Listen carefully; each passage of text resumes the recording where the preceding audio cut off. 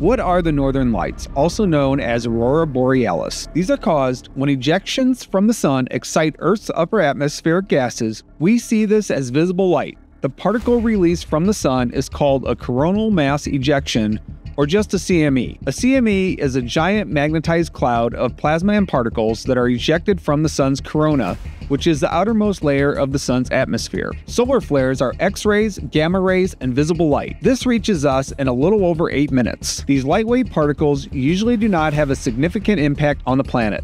However, if a solar flare is large enough, it could potentially be devastating and we would not have any warning because it would be hitting us as we are detecting it. The CME, being made from heavier particles, can take a couple days to reach Earth. We have a warning because we can see it through a telescope. The magnetic field of Earth blocks incoming particles, However, if enough energized particles are coming at us, it will overwhelm the magnetic field, and that is when we get the northern lights. If Earth didn't have a magnetic field, the CME would strip our atmosphere and destroy surface life with radiation and charged particles our planet would resemble Mars. The magnetic field of Earth cycles and has been weakening over the last 150 years. The rate is accelerating. While we are not at risk of becoming Mars, a loss of our magnetic field strength can destroy the communications and electrical infrastructure we rely upon way before living organisms feel the full impact.